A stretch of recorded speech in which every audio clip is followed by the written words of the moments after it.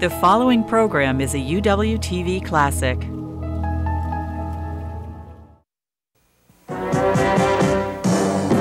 From the University of Washington in Seattle, Upon Reflection with Al Page. Our guest is Ossie Davis, actor, writer, and a guest lecturer at the University of Washington. Can Ossie Davis, the actor, really do justice to Ossie Davis, the writer? Is it hard to do your own stuff? It was. I think I could do justice to it now. But when I did Purlie Victorious in uh, 1962, there were several things that Purlie, as a character, was supposed to do that I was totally uncomfortable in doing, and, and I couldn't do it. Such as? Well, um, there was a scene in which Purlie was, was being forced by Gitlow to beg, to crawl to get some money. And so Purlie asks him politely, said, no, no, do it like you do for white folks. Well, you had no practice. no, it was that I had had the experience coming from the South and the practice, but I couldn't, with the public watching me do I could, now I could do it now as an actor, but believe me, I was a failure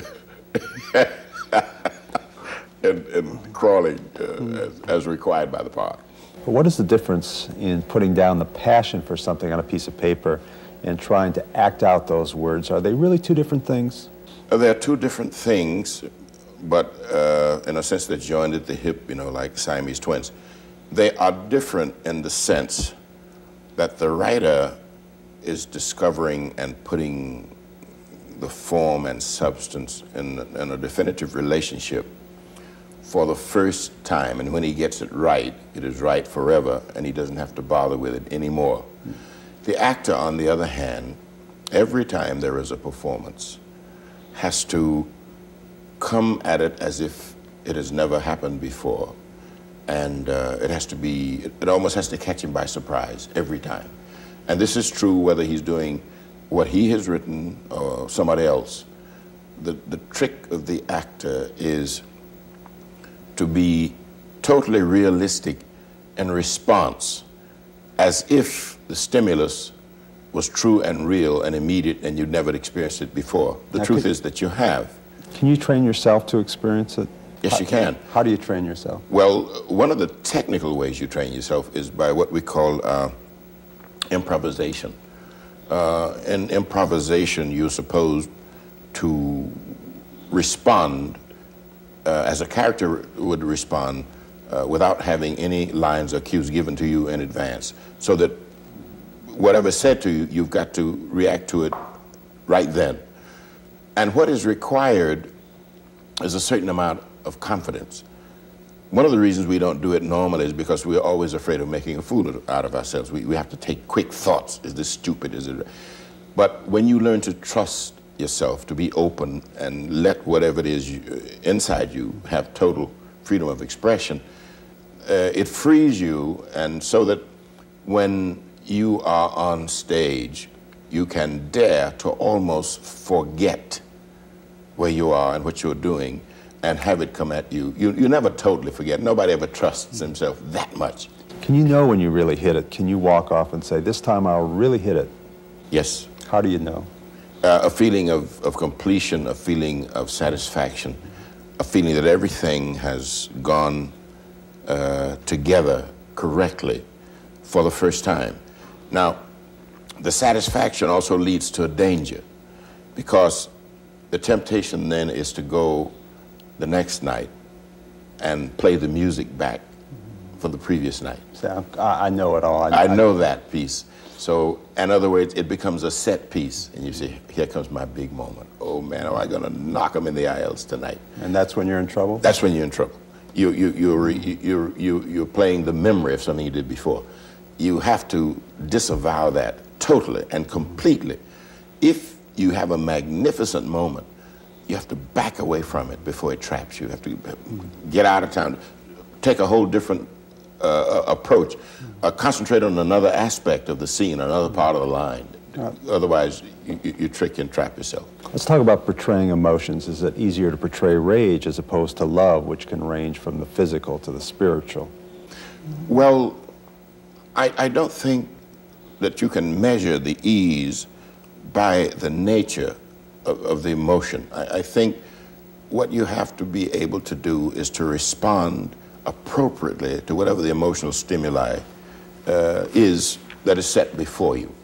Uh, and appropriately means not too much and not too little. You, you, you very seldom hit it head on. You, you know, you, you land a little short of it, a little over it, so that every night you have the challenge of, of, of trying to, to hit it each time, because otherwise it would become mechanical to you. But it's like, the, you know, the, the guy who's trying to kick the field goal, you know, no matter how many times he's done it, it's now and the, there's the goalpost and you've got to get it just right. That particular challenge. Is it difficult for actors to take charge of their own lives when their principal job is repeating the words of others? I really wouldn't know. I have never been only an actor in my life, number one. Number two, I didn't set out to be an actor.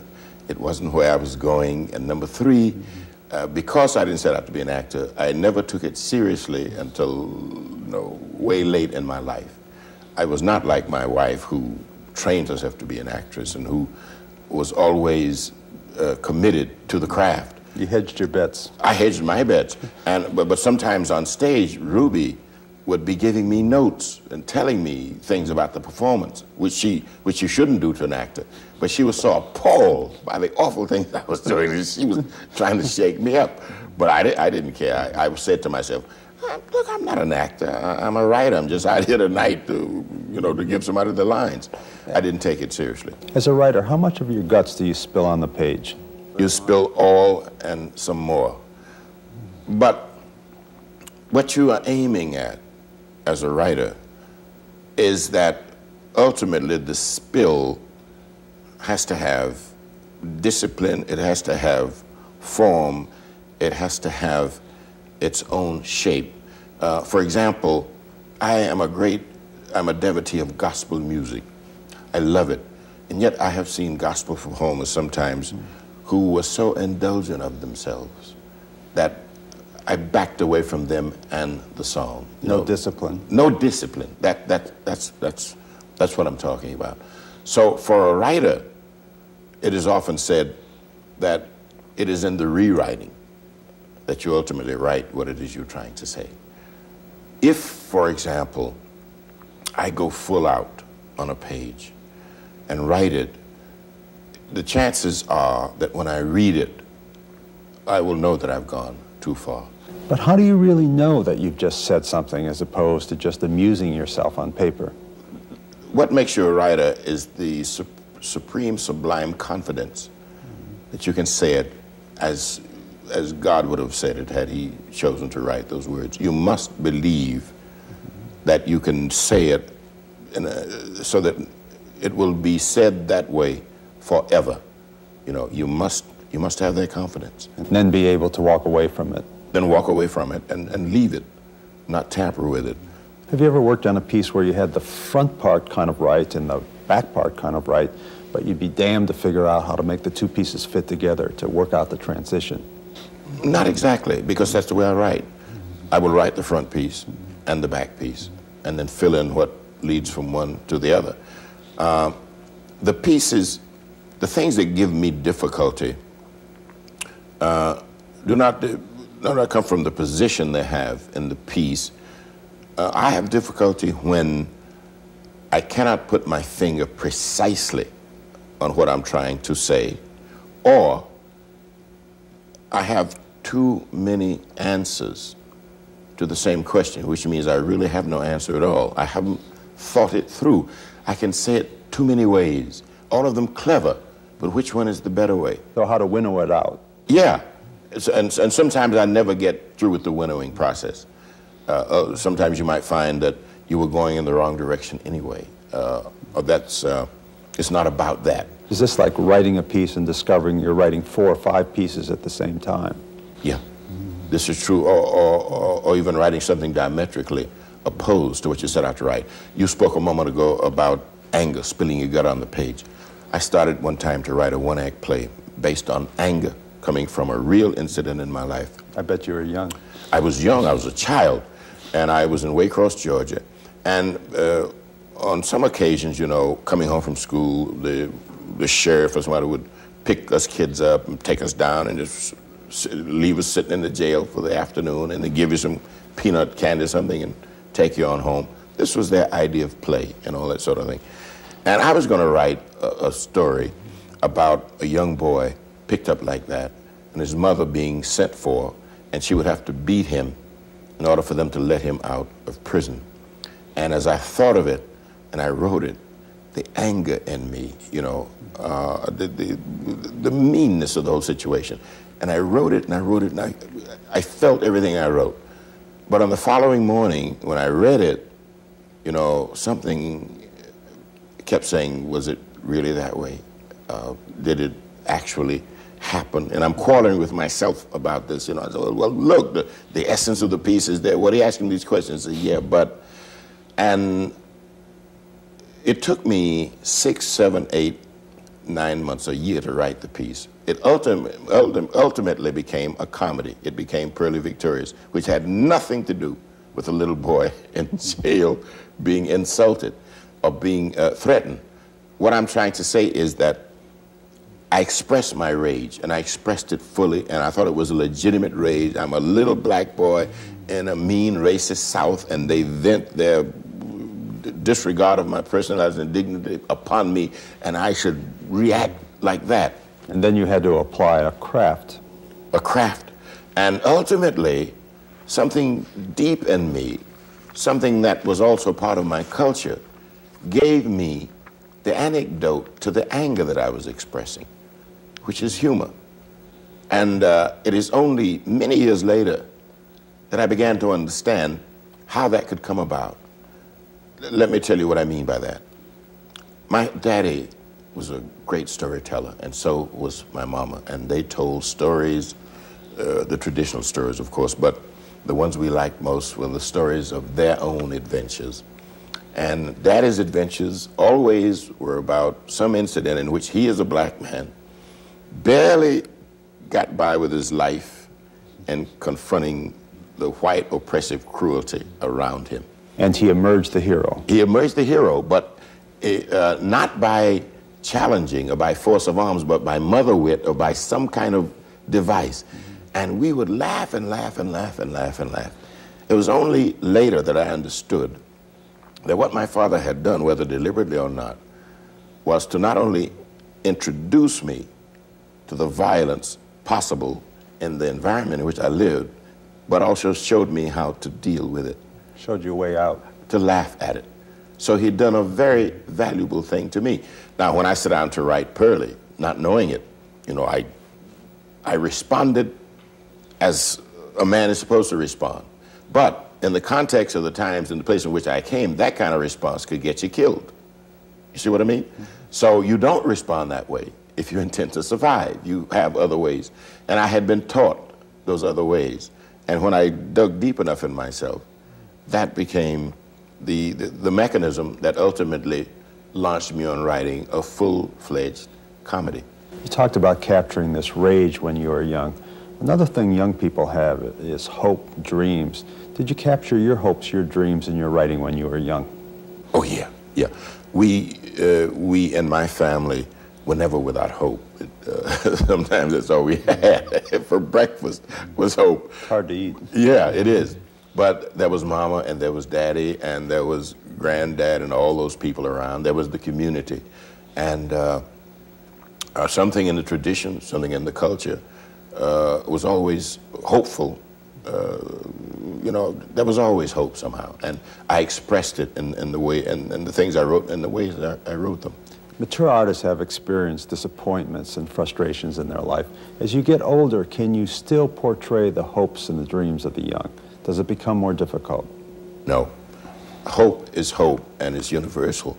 And uh, what, what, one, what one would have to do would to be sure that uh, you know in detail what a young person is or who a young person is, and then expose that youth and that uh, young way of thinking to hope and get the response.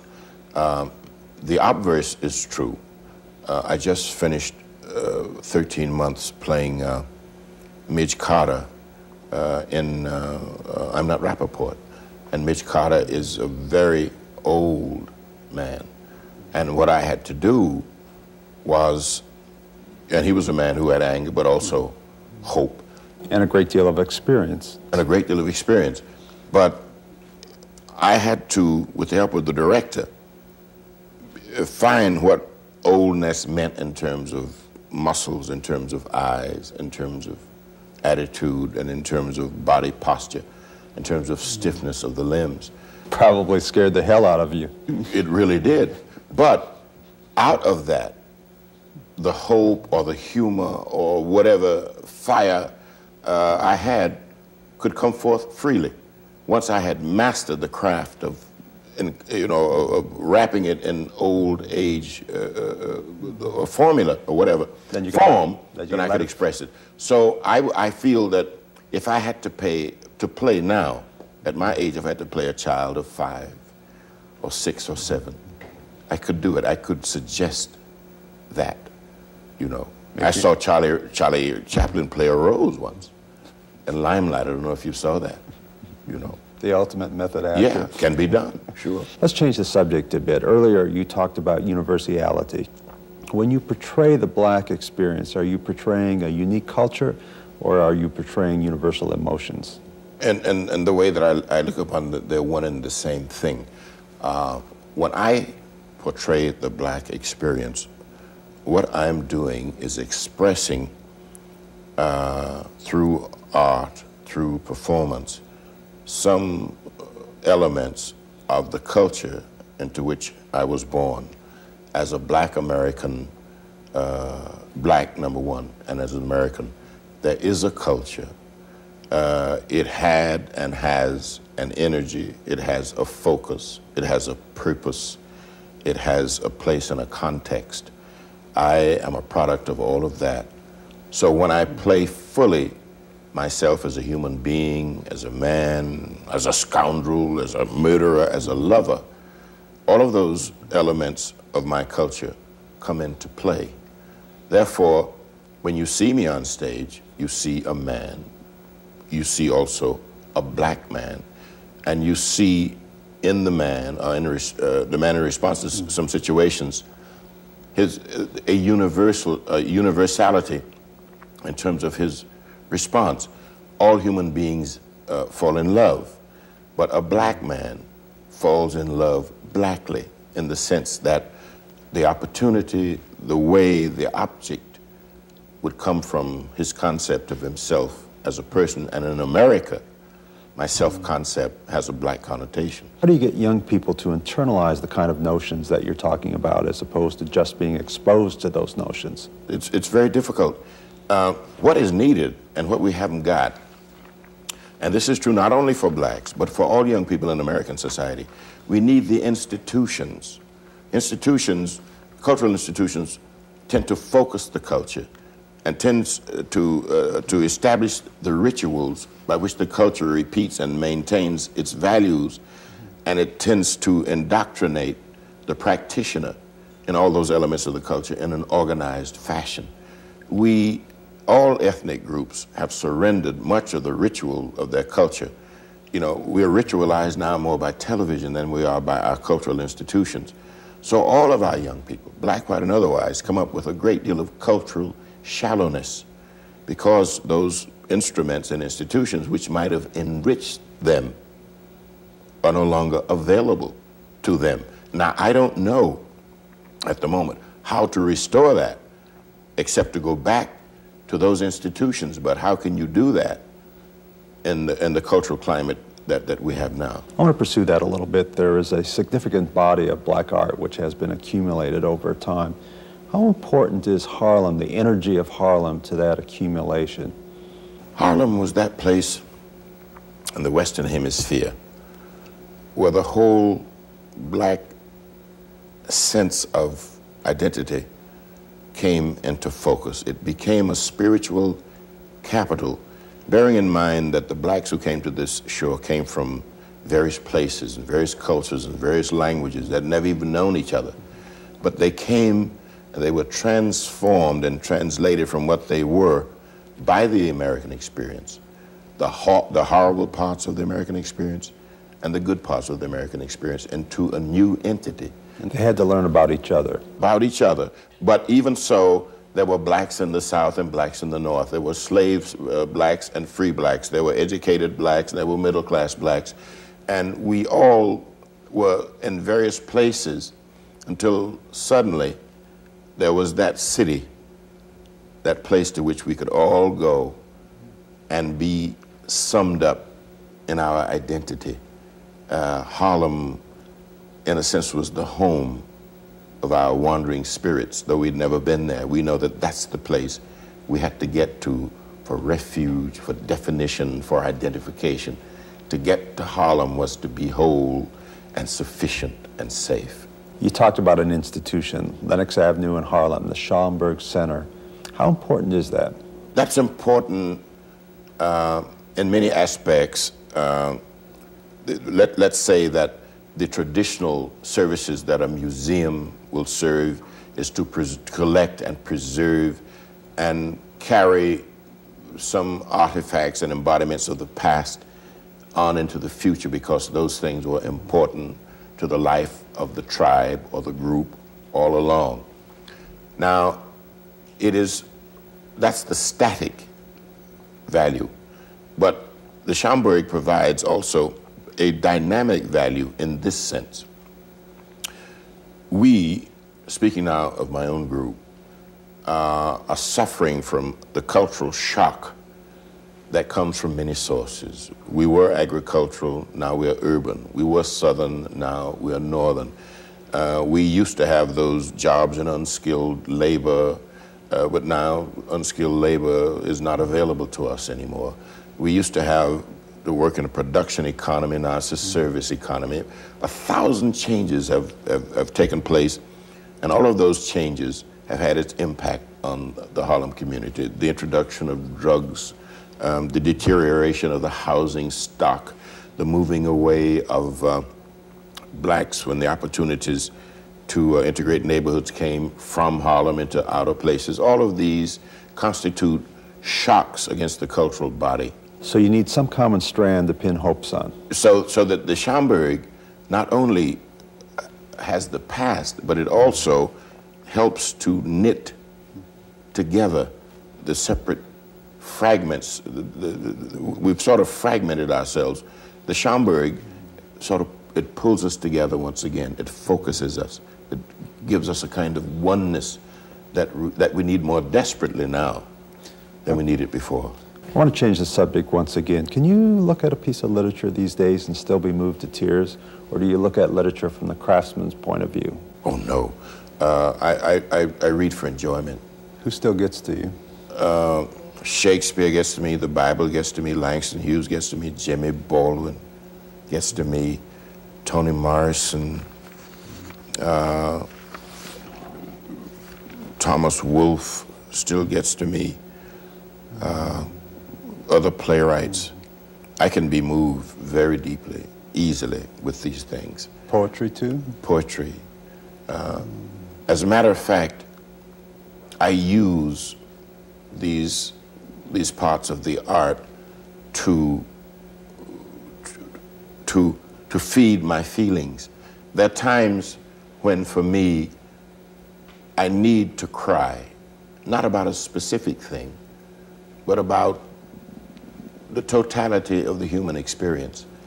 You know, I look at my grandchild and I know that I will leave that child in a world. I don't know what will happen to that child. And that moment to me, you know, almost makes me speechless. And, and there is a section that, that I can think of that helps. One is this, that there is uh, King David when his son uh, was killed, uh, son that had led an army against him was killed, and he said, Absalom, oh Absalom, my son, my son, would God I had died for thee, oh Absalom, my son, my son. And I think of my child or my grandchild in that context. And it helps me to deal emotionally with the child, or if it's, if it's the granddaughter, a love poem, a sonnet, whatever. Uh, I, I, use the sources of my emotion ruthlessly, but I, I but I don't cheat, you know, and, and I don't exploit my feelings. But it know. keeps you humble. It does, and it keeps me rich and alive, and my juices, my spiritual juices flow, and flow frequently. Copiously, I would say. So, what are you going to do with the rest of your life?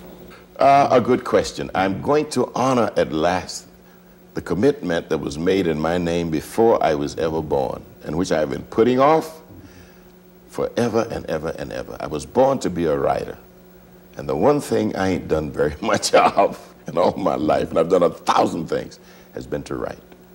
So from now on, and I'll be 70 in 10 days or so, whatever's left to me, I am going to focus those days and those times on my original commitment. I'm going to write. No matter how fat the contracts? You'd be surprised how, how fat the contracts ain't and how much, they how much they don't come. The truth of uh, our economic uh, stability in this world and the opportunities that Ruby and I have, most of them have been opportunities that we ourselves have made. And you're going to write with style? Uh, yes, because I can do it with great style now. Ossie Davis, actor, writer, and a guest lecturer at the University of Washington. Upon reflection.